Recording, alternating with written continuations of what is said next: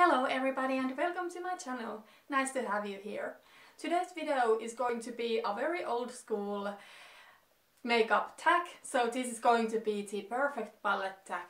I don't even remember whose video idea this was originally, but if I find the original video, I will of course link it down below.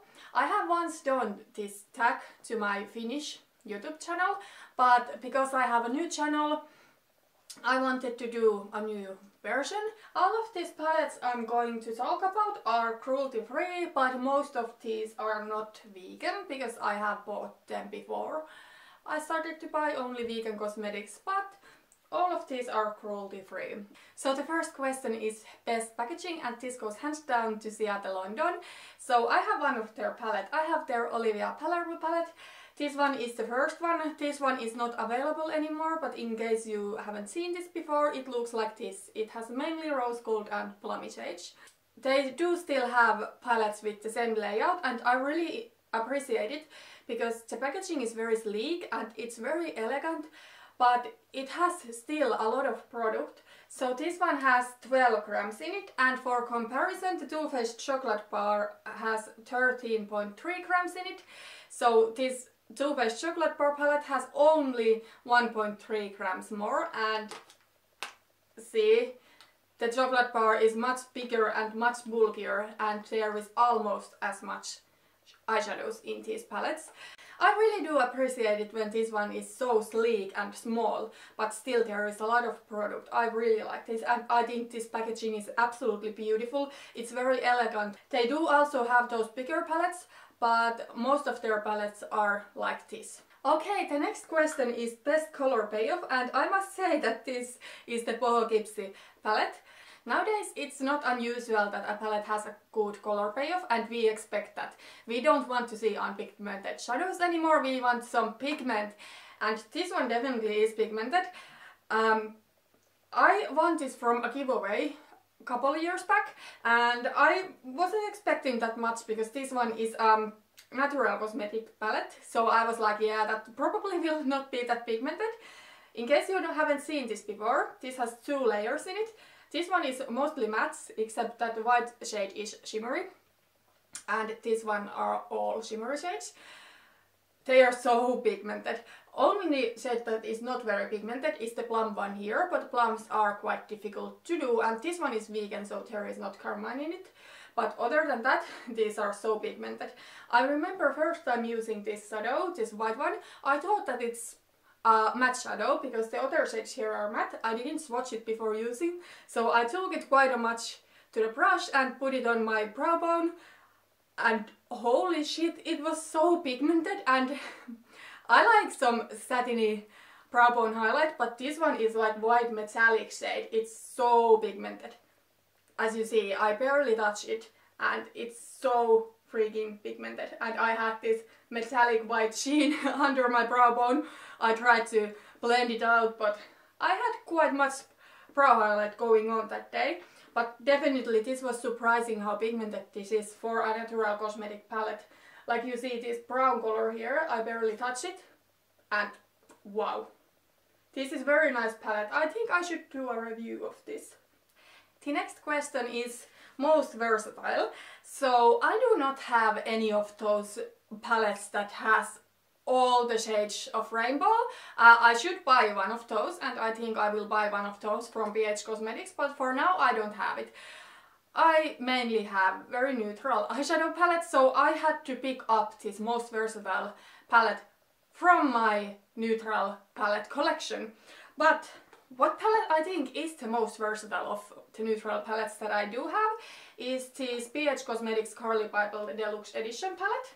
So I think this is surprisingly versatile. When you look at it, it's, it's nothing so exciting and nothing so new. But there is three rows of shades here.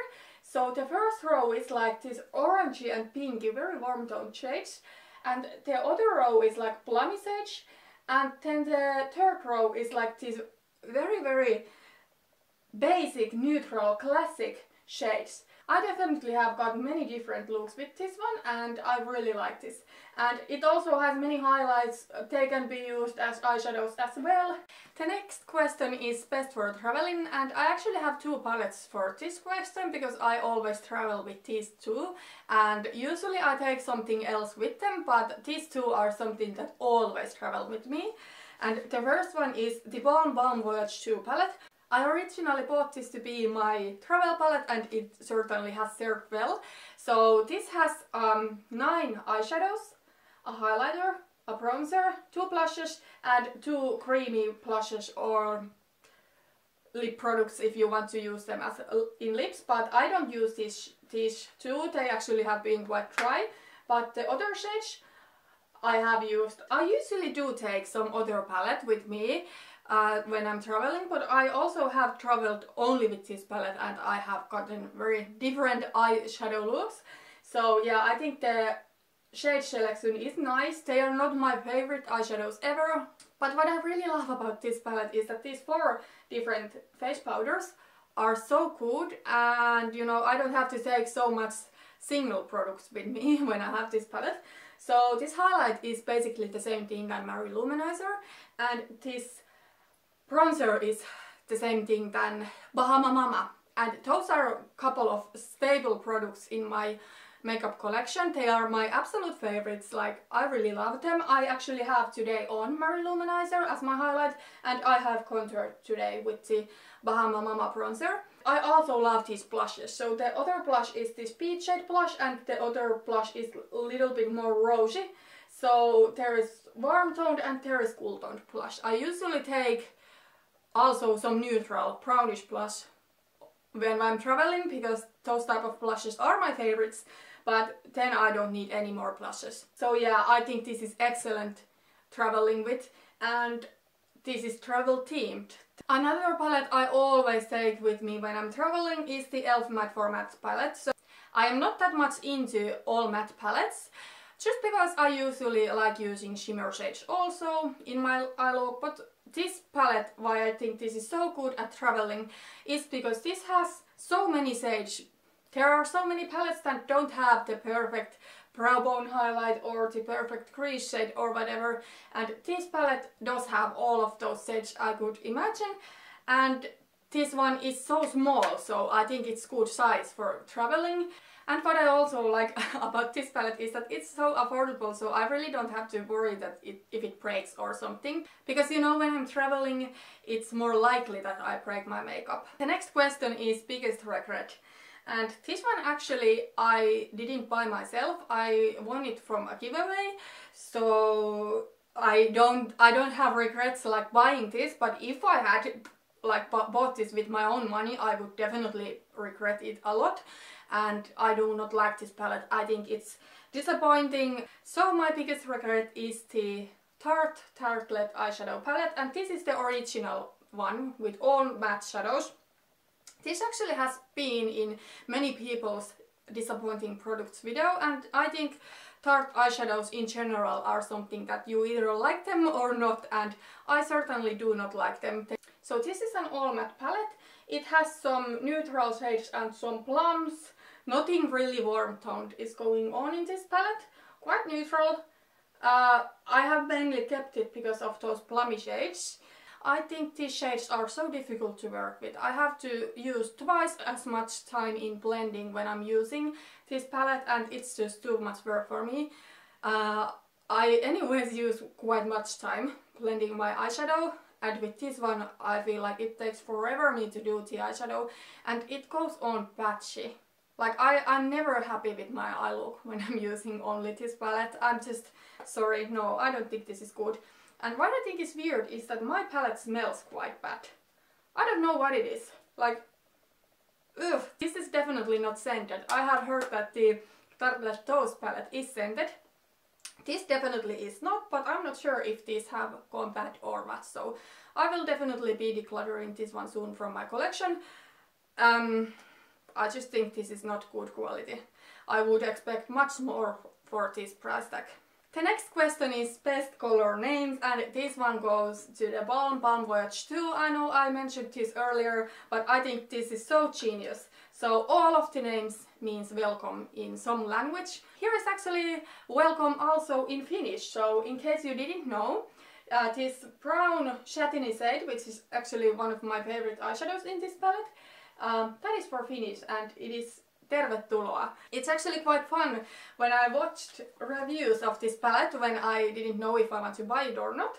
Uh, to watch people trying to say it like they most of the people who speak English as their native language are like tervetuloa but no it's tervetuloa but I personally have no idea how I should pronounce these blush and these names like no I think it really was genius from the Balm to put welcome in many different languages in a, you know, travel themed palette. It was so genius. And I do think that the Balm is very good with shade names altogether as the whole brand. Okay, the next question is my least used palette. And this one unfortunately goes to the Balm Meet Matte Trimony palette. This one is very beautiful palette. It has some gorgeous warm toned shades in it. But as I said earlier, I'm not a biggest fan of all matte palettes because I definitely like a shimmery eye look. I always use matte shadows, but I usually like to put something shimmer shimmery to my lid. And that's why I usually am not that much into all matte palettes. So this one I haven't been using as much as I should. I definitely want to use this more. This is absolutely beautiful palette. I want to get more use out of this. I think I have only once used this like only this palette to create a look. I definitely have been using this more um, with shimmery shadows but usually still I pick out something else than this. I also have the Meet Matte Nude palette, that one I have been owning much longer. So I have been using that one more, but this one I have been using so little and I definitely think this should be used more because the quality is very good. So I definitely will be challenging myself to use more this palette or if not, if I don't use this more, I will give it to somebody else because this is not vegan and I don't want to keep products that are not vegan and what I absolutely don't love in my collection. In case I don't get use out of this one, it's probably better to give it to somebody else, but I definitely should use this one more. Okay, then there is the last question and this is most loved, most used and desert island. So I have two palettes here, so my most used eyeshadow palette is hands down this Too Faced Chocolate Bar palette. This was my first high-end eyeshadow palette and I absolutely love this. This is so beautiful palette. So everybody knows what this looks like. This has this warm toned burgundy shades, these warm browns in it. It's absolutely beautiful and I have used this so much. This was my first high-end palette and I have gotten so many different looks from this palette and I absolutely love this. This has very much sentimental value to me. But the palette that I love absolutely the most and if all my other palettes was taken away from me and I could keep only one only one palette, it would definitely hands down be Urban Decay Naked Smoky palette. This has the most sentimental value to me and that's why this one is my all-time favorite palette. I definitely haven't used this like the most. I have used the chocolate bar more, I have used the original BH Cosmetics Carli Bybel palette much more than this one, but this is my party palette and I know it sounds like stupid, but this is so important to me. In case you don't know, I listen to mainly electronic dance music, mainly hardcore, little bit hard style, little bit heavier than hardcore. Not that much terror, it's it is it is nice at parties, but at home it's maybe a little bit too heavy for me. So, I like to go into hardcore events and festivals and this one is something that I always do my makeup when I'm going to an event.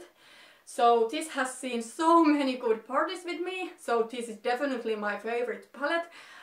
Last year I was at the first time in the Defqon.1 festival, which is the biggest harder, harder styles festival out there. So I had this palette with me and I every day did an eye look with this palette. This is so good. First I didn't even like this palette because I was not that much into these cool toned eyeshadows, these silvers, but If I do a silver eyeshadow, I will definitely do it to the hardcore event. And if I could keep only one palette for the rest of my life, it would be this. Like I would I would not even miss the other palettes as long as I could keep this one. Okay, so that was my version of the Perfect Palette tag. I thought that I might do the Perfect Palette 2 tag very soon because I love doing and I love watching all different type of tags videos. They are so fun and you get to hear other people's opinions of certain makeup things. If you would like me to do some special tag, please let me know down in the comments. And thank you for watching this video. If you like this video, please put thumbs up and subscribe if you haven't already. I do beauty videos that are cruelty free. So yeah, that's all for today. See you in the next video. Thank you for watching and bye bye.